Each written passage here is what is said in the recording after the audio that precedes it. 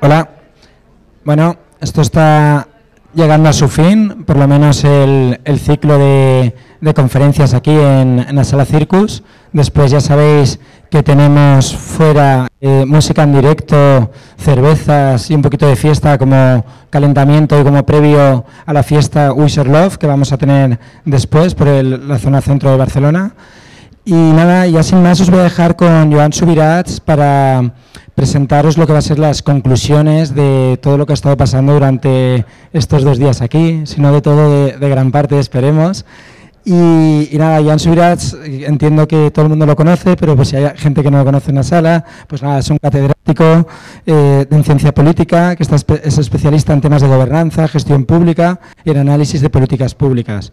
También ha trabajado sobre temas de exclusión social, problemas de innovación democrática y sociedad civil. Conclusión, que va a ser un placer escuchar las conclusiones de Joan. Sí, ahora te conseguimos. Un aplauso para Joan, por favor. Gracias.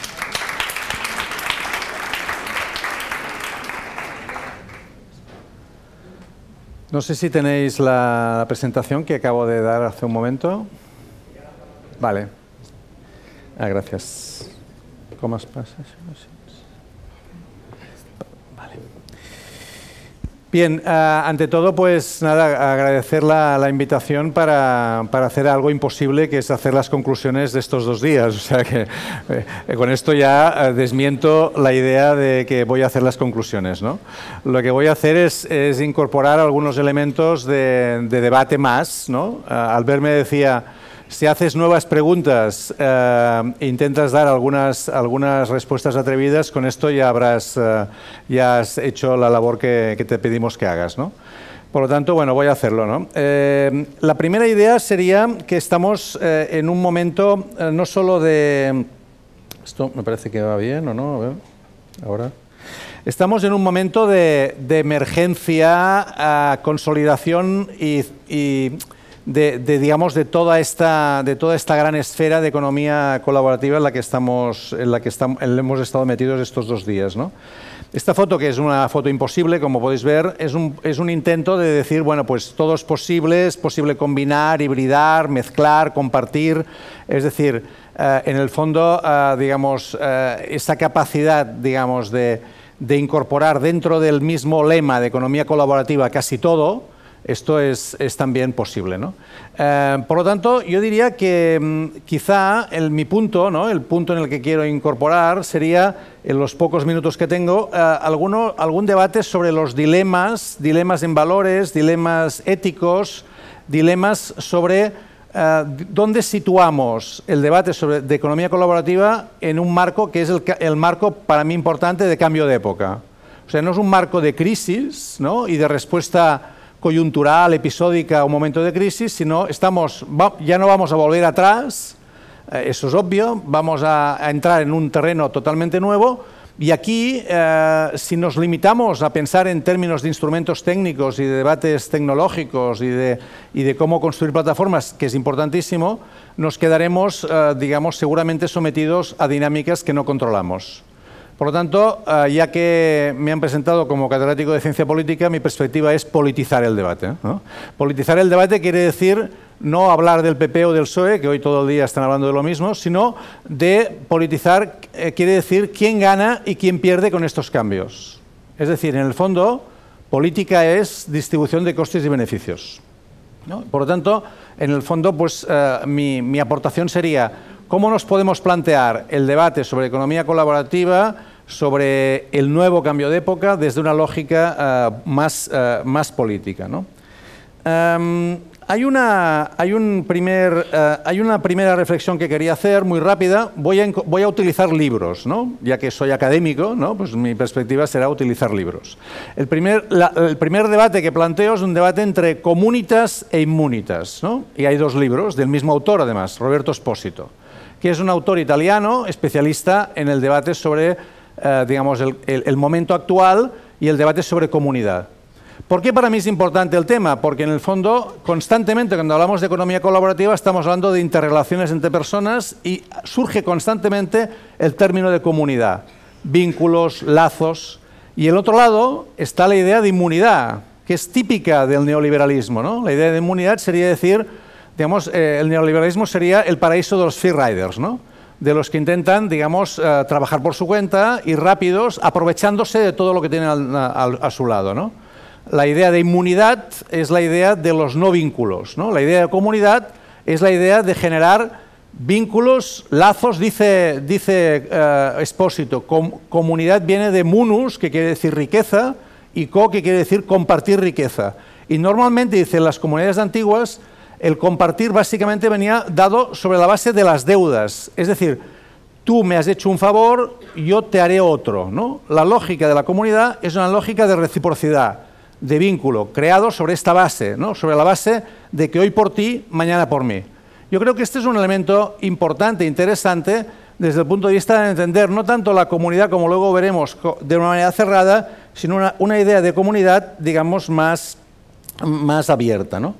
Eh, en este sentido, eh, seguramente el, gran libro de referencia en este momento para discutir la situación económica actual, a pesar de que cuando os diga cuándo se hizo, parece, una, parece absurdo que hablemos de un bestseller cuando se escribió el año 1944, es el libro de Cal Polanyi. ¿no? El libro de Cal Polanyi, que es La Gran Transformación, explica en un momento determinado, que es eh, justo al final de la Segunda Guerra Mundial, eh, lo que él llama el gran doble movimiento. ¿no? El doble movimiento es el movimiento de mercantilización, que él da, eh, lo sitúa a principios del siglo XIX con la primera revolución tecnológica, que es la máquina de vapor, luego sigue con la segunda revolución tecnológica, que sería el Fordismo, ¿no? 1913, la creación de la fábrica Ford en California, ¿no? por parte de Henry Ford, y estaríamos ahora en la tercera revolución tecnológica, de la cual evidentemente Cal Polanyi, que se murió hace 20 años o 30, no, 40 años, ya no habla. ¿no?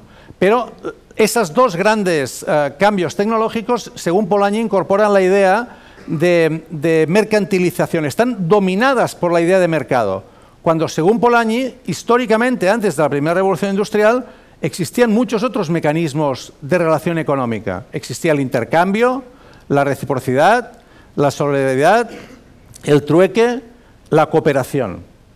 De esos instrumentos de colaboración económica, de relación económica que existían, el mercado los ha, digamos, eliminado y nos ha situado solamente en la lógica mercantil, es decir, retribuir, pagar por los servicios en una lógica de intercambio. Dice él, eh, en el fondo estaríamos hablando de que hay una economía de mercado, pero la lógica liberal, que él explica, él no habla del neoliberalismo evidentemente, sino del liberalismo, la lógica liberal, lo que, lo, que lo que nos ha provocado es la confusión entre economía de mercado y sociedad de mercado y, por lo tanto han naturalizado la relación mercantil como si fuera la única posible. Y en el fondo hay muchas más. Yo creo que esta aportación, digamos, de doble movimiento, ¿no? el movimiento de mercantilización y el otro movimiento que Polanyi marca desde la Revolución Soviética, el fascismo, que es la idea de protección, ¿no? la gente ante la sensación de desprotección que tiene por esa economía mercantil que los deja desnudos, en relación con la, la, la tradición anterior, busca en la protección, donde sea en el mercado, eh, en el Estado, perdón, la capacidad eh, de, salir de esa situación. Entonces, eh, bien, Polanyi tiene muchos otros libros, no, no, me voy a dedicar a ellos. La otra gran aportación que está teniendo muchísima influencia en el debate sobre la comunidad, esta es mucho más reciente, le dieron el Premio Nobel de Economía a una politóloga, por cierto, que murió hace un par de años, Elinor Ostrom, ¿no? sobre el gobierno de los comunes, esta incorporó una idea mm, más, más digamos, trabajada, diríamos, ¿no? en el sentido de construir algo que parecía, digamos, eh, esto no me funciona, ahora, eh, que, intentaba ser una respuesta a este señor que es Garrett Hardin, ¿no? que dijo que todo lo que son bienes comunes acaban en tragedia. Es decir, todo aquello que se comparte, al final, como es colectivo, siempre eh, alguien quiere aprovecharse de esa lógica eh, colectiva y acaba produciendo la tragedia de lo común. ¿no? Eh, y esto, digamos, serviría en la lógica típica del racionalismo económico, que es todo el mundo busca su beneficio y por lo tanto quiere aprovecharse de cualquier circunstancia que se lo dé. Y no hay por lo tanto vínculos de carácter colectivo, ¿no? Es la lógica del free rider. ¿no? Ante esto, digamos, uh, Elinor Ostrom, que es esta señora que tenéis aquí, pues uh, responde a la tragedia de los comunes con el gobierno de los comunes. ¿no? Y demuestra con muchísimos elementos, digamos, ¿no? Eh, cómo en la historia, a pesar de lo que decía Harding, se demuestra que desde el punto de vista de sostenibilidad ambiental, no solo la, propiedad comunitaria de los bienes, ¿no? porque habla de propiedad comunitaria de los bienes, no acaba en tragedia, sino que resulta que ser desde el punto de vista ambiental eh, la solución más resiliente, ¿no? la que acaba generando más sostenibilidad en los recursos. ¿no? Básicamente, lo que, le ha dado Premio Nobel de Economía a Ostrom es relacionar recurso, comunidad y bienes. Es decir, hay un recurso determinado, una comunidad de gente que intenta, digamos, mantener ese recurso y, lo que es importante, hay unas normas que previenen que ese recurso se pueda hacer. La cantidad, digamos, de ejemplos que incorpora son muchísimos. Tenemos uno cercano, que es el, acuífero del Delta Llobregat, tenemos las tierras comunales en muchísimos sitios y simplemente si veis el libro veréis que hay centenares de, ejemplos que se dan. Aquí en Cataluña, en esa misma línea, tendríamos, por ejemplo, en el ámbito rural, en el ámbito, digamos, agrícola, tendríamos la, red de custodia del territorio, que distingue lo que es propiedad de lo que es uso y acceso. Y es un elemento importantísimo, porque recordáis que en, los bienes tecnológicos ese es un elemento clave, ¿no? La distinción entre propiedad y, en cambio, el uso y el acceso, ¿no? El conocimiento no es un bien rival, ¿no? Eh, por lo tanto, en el momento en que el conocimiento no es un bien rival, la lógica de exclusividad que el capitalismo marca en esa, en esa idea es un problema de, de relación. Bueno, no voy a, daros la lata eh, con Stallman y Linux ni con Wikipedia, todos conocéis y, el tiempo se me va pasando, por lo tanto, digamos, no voy a insistir en esto. Pero sí que, por ejemplo, David Bollier, con toda la historia de los, del Digital Commons, ¿no? ha trasladado el mensaje final de, Ostrom, eh, que estaba muy centrado en los bienes naturales, al ámbito de los bienes digitales. Y aquí tenemos, por lo tanto, una reflexión que no es fácil de establecer, pero creo que es la clave de muchos elementos, ¿no? Es decir, fijaos que ahora eh, la sociedad, digamos, de estudios de Polanyi trabaja sobre commons, ¿no? Eh, las ideas de Ostrom sirven en muchos casos para debatir la construcción de gobernanza de los bienes digitales, por lo tanto aquí tenemos un, elemento a fructificar, a discutir. ¿Por qué? Porque no estamos situados en el terreno ni ni de la propiedad estatal, ni de la propiedad mercantil. Estamos trabajando en una lógica de cómo se pueden construir, digamos, dinámicas ¿no? de gobierno, de gobernanza, de, bienes y de, servicios desde una lógica de carácter comunitario, evitando, por lo tanto, el free rider, evitando la inmunitas que decía al principio. Dos ejemplos más, ¿no? Eh, muy interesantes por mi parte. ¿no? La Benkler, ¿no? algunos recordaréis, vino a Barcelona hace un par de años, se publicó este libro por Icaria, se tradujo, es La riqueza de las redes, ahora ya es un poco antiguo porque tiene 7, 8 años, ¿no? Eh, pero Rifkin, siguiendo un poco la misma lógica, ha incorporado en una lógica más de prospectiva y de futurología muchos de los elementos que Benkler utiliza, y es un poco la idea de que, eh, digamos, eh, fijaos que el libro se llama La riqueza de las redes, algunos recordaréis que el gran libro de origen del capitalismo de Adam Smith se llamaba La riqueza de las naciones. Por tanto, en el fondo, aquí hay un intento, digamos, de responder a la idea de Adam Smith con otra idea distinta como esta. ¿no? Uh, Joe que es este señor de la barba que veis aquí, pues ha seguido trabajando ¿no? con el Penguin and the Leviathan, Ah, y en los últimos trabajos de Benkler pone mucho el acento en ver los peligros, digamos, que, el monopolio que se está dando en muchas plataformas digitales, el peligro que está esto generando sobre la idea de, las redes como bienes comunes, ¿no? la lógica del peer-to-peer, del compartir, etcétera, etcétera. Está la preocupación de, digamos, de la desposesión colectiva que implica el monopolio de ciertas plataformas sobre esta capacidad colectiva de construir conocimiento y saber. ¿no? Benkler, eh, eh, cuando vino a Barcelona, hizo un ejemplo muy bonito, que es este, este ejemplo de la, de la Plaza Tiananmen. ¿no? Todos recordaréis esta foto. Yo he buscado todas las, todas las fotos posibles que he encontrado sobre Tiananmen y como decía Benkler, todas están hechas desde, el mismo sitio, ¿no? porque los fotógrafos de las agencias de prensa estaban todos en el Hotel Pekín y, por tanto, desde las ventanas del Hotel Pekín hacían la misma foto. ¿no?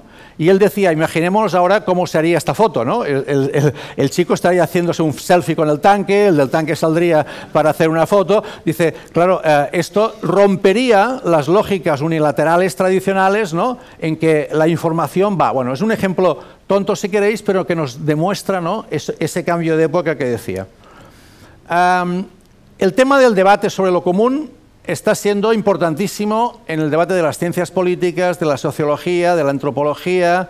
Por lo tanto, no pensemos que es un debate que se da solamente en el campo tecnológico, se da en muchísimos otros campos.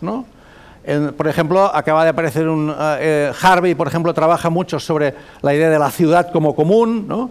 Eh, ahora en Quito donde ha habido, digamos, eh, Habitat 3, ¿no? que es ese debate sobre la, nueva agenda urbana que se hace cada 20 años. Uno de los temas de estrellas ha sido el derecho a la ciudad y la ciudad como común, por lo tanto es un tema importante. Aquí simplemente incorporo algunos elementos, los de Hart y Negri sobre Commonwealth, una aportación muy interesante de franceses, ¿no? de, de Laval y Dardot, con una idea interesante para mí, que es romper la lógica de Ostrom. Ostrom dice, comunidad recurso, reglas. Por lo tanto, la comunidad está de alguna manera cerrada, se puede identificar. Lo que dice Laval y Dardot insiste en la idea del commoning. No es tan importante, digamos, quién forma la comunidad, sino el conjunto de personas con vínculos sociales que quieren construir comunidad y que quieren, por lo tanto, eh, digamos, eh, situar aquello que defienden en una lógica que no es ni estatal ni mercantil, ¿no? Sino que eh, vinculada con esa, con esa idea de lo público que va más allá de lo institucional, lo público como capacidad colectiva de gestionar eh, bienes comunes. Eh, las aportaciones, por ejemplo, de Hugo Matei o de Stefano Rodotà. Rodotà, algunos lo conoceréis, es uno de los grandes italianos líderes en, el tema de la, neutralidad de la red, etcétera, etcétera. Son personas que han ido trabajando también, ¿no? Eh, Hugo Matei con la idea del ibenicomunismo, ¿no? El ibenicomunismo, digamos, ¿no? Como una forma de expresión ideológica de la defensa de lo común, ¿no?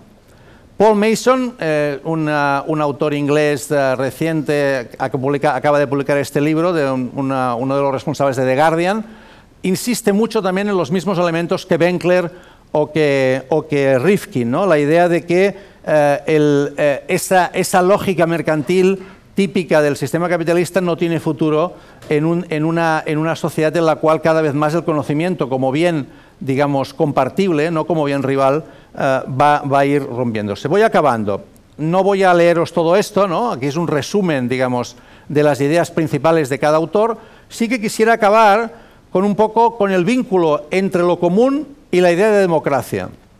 ¿Mm? Es decir, en el fondo lo que está en juego es qué tipo de democracia queremos construir. ¿No? Una democracia que solamente son reglas eh, concretas que cada cuatro años nos permiten votar, etcétera, etcétera, o democracia como una capacidad de construir un mundo más justo, más equitativo, etc. ¿no? La democracia de lo común es un poco lo que Polanyi, Ostrom, Benkler, Laval d'Ardot, con distintos elementos, incorporan. Yo simplemente lo que he puesto aquí son algunos de estas, eh, de estas ideas.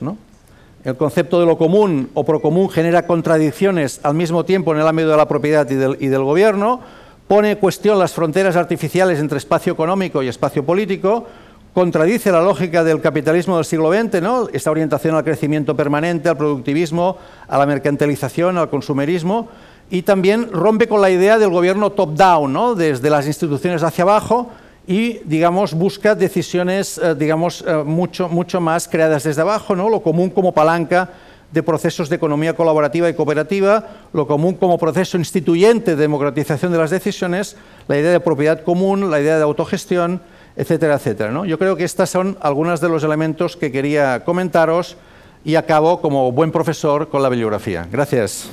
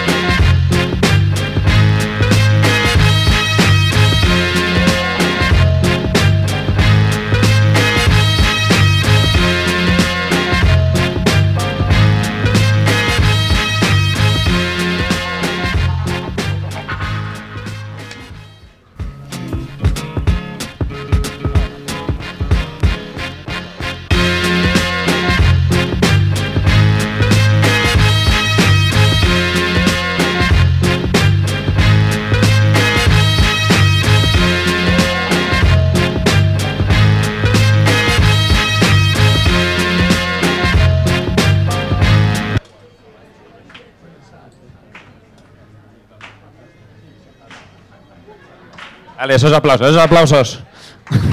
Vamos. Uh.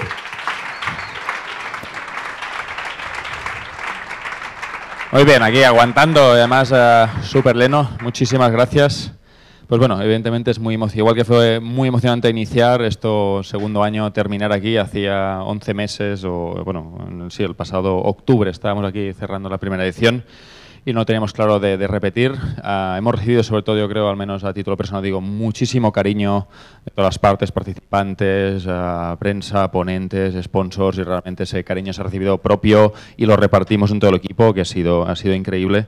Y a empezar, empezar por ahí, estamos esto, muy, muy contentos. Y y bueno, ya nos pasáis vuestras valoraciones del, del, Wisher Fest, pero Wisher es mucho más que este, que este Wisher Fest. Y solo para daros tres ejemplos rápidos, esta misma noche, de hecho en unas horas, uh, en Lima hay un evento que es un evento satélite del Wisher Fest, donde el mundo maker de, de, Lima, de Perú, se va, se va a reunir a la comunidad ahí.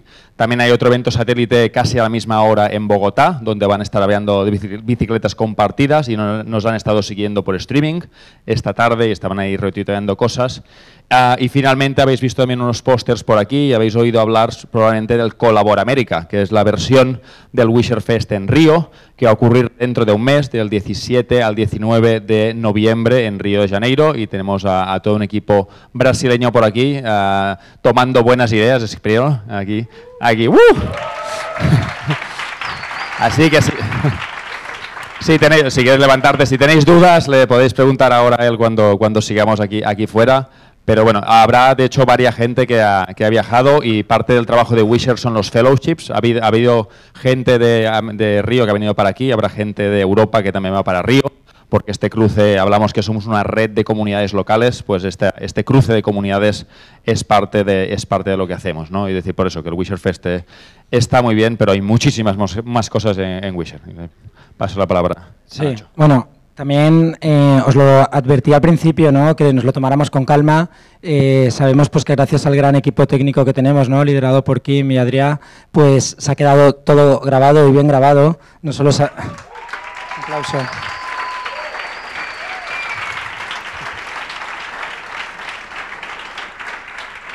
No, no solo han tenido oportunidad de podernos ver desde el otro lado del charco, sino que nosotros también vamos a tener oportunidad de en breve tener todos estos vídeos colgados en nuestro canal de YouTube para poder consultarlos, poder incluso compararlos con los del año pasado y compararlos con los del año que viene. Ya, ahí se van a quedar durante mucho tiempo, no nos estresemos, eh, cuando queramos podemos volver a consultarlos.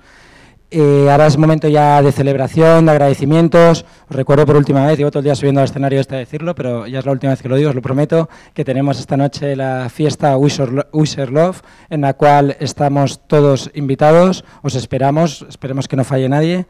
Y nada, eh, ya queda pues eso, agradecer. Al final han sido, estamos haciendo números ahora, más de 750 personas las que han pasado por los eventos de Wisher Fest desde el mes de octubre. Creo que se merece un gran aplauso.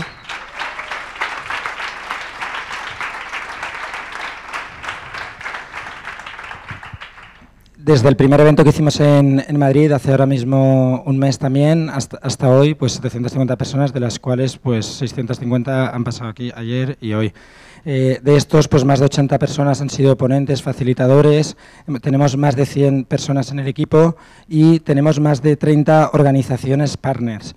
Eso es muy importante. No solo son las que habéis visto en, en algunos de los contenidos que hemos está puesto por aquí, sino que además en la página web podéis ver que tenemos muchísimos más partners al final el, los partners principales que hemos tenido, pues ya lo habéis visto, el Ayuntamiento de Barcelona nos ha vuelto a coger un año más como si estuviéramos en casa, la gente de Barcelona activa, pues justamente hoy nos han tratado y nos han alojado mucho mejor aún de lo que jamás lo podían haber hecho, nos han hecho sentir pues como si fuéramos ellos prácticamente y eso la verdad es que, se agradece. ¿no?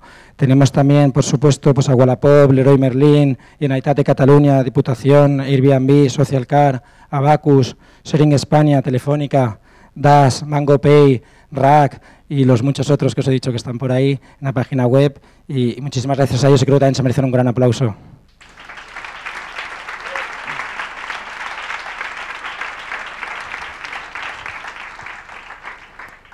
Ahora vamos a tener ahí fuera también unas cervezas y un grupo de música tocando en directo, pero antes quería que conocierais al resto del equipo, por lo menos aparte de él, que pueda estar por aquí todavía, y me gustaría que conocierais a los líderes de las diferentes áreas que hemos estructurado para hacer el Wisher Fest. Tenemos a, Nayara, que ha liderado el equipo de producción.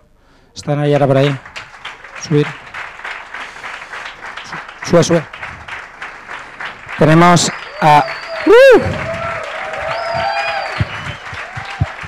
Eva ha liderado el equipo de comunicación, y prensa, redes sociales, etcétera, etcétera.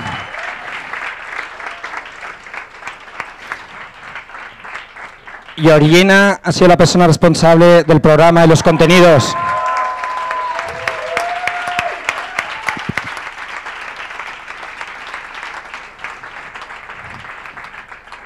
Javi Velasco ha llevado el área de partners y ticketing.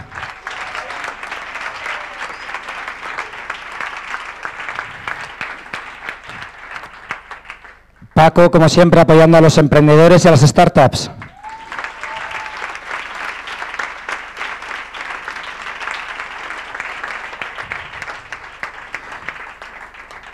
Luis lideró el Recincan Remix y ha liderado la gobernanza del evento.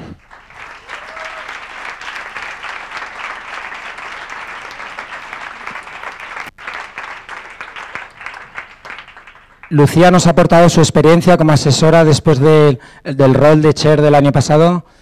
Y un aplauso para, para Lucía, que está cerrando un taller.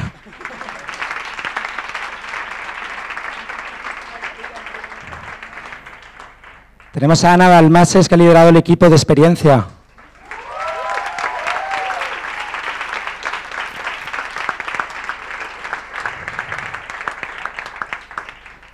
Y Bryce, que ha sido el responsable de conseguir que tuviéramos más de 50 voluntarios ayudándonos.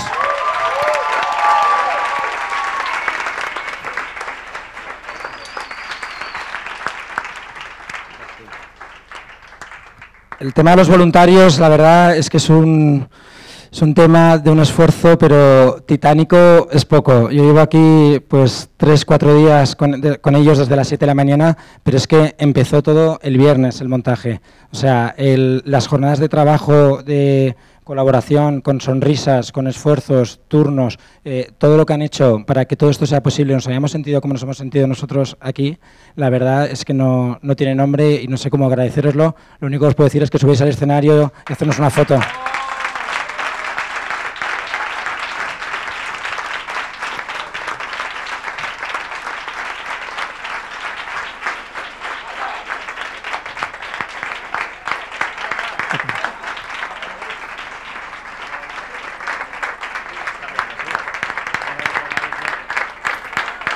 También...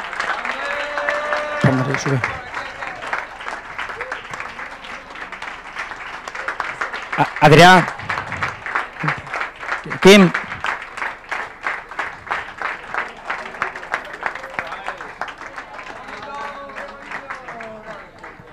Nuestros track líderes, espero y supongo que habrán subido todos, los curators, ¿vale? El programa se ha separado en más de siete áreas diferentes, también ha tenido cada una de las áreas sus responsables.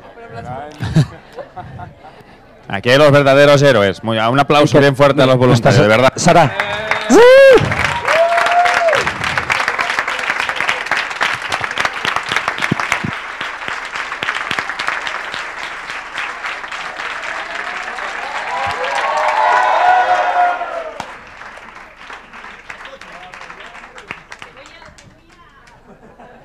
Bueno, ¿se ha quedado alguien para hacer la foto? Sí, Lucía le habíamos avisado. ¿Alguien que vaya a buscar a Lucía, por favor? ¿Y, si, que, ¿Y se queda alguien para hacer la foto? Mercé, ¿qué haces ahí? Javi, Javi Creus, por favor. Vamos. Hay gente que se queda, hay, gente del equipo que se ha quedado ahí.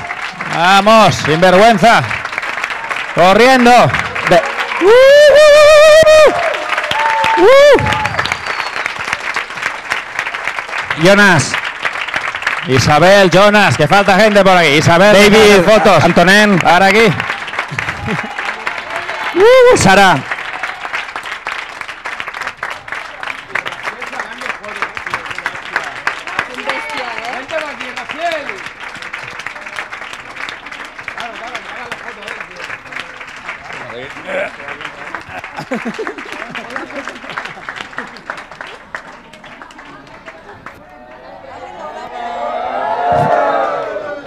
Esperar a Rasiel, esperar a Rasiel, que si no...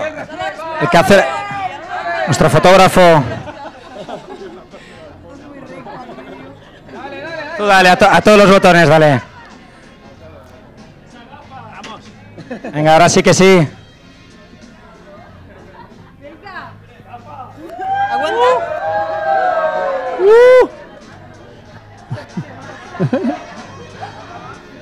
Rápido, que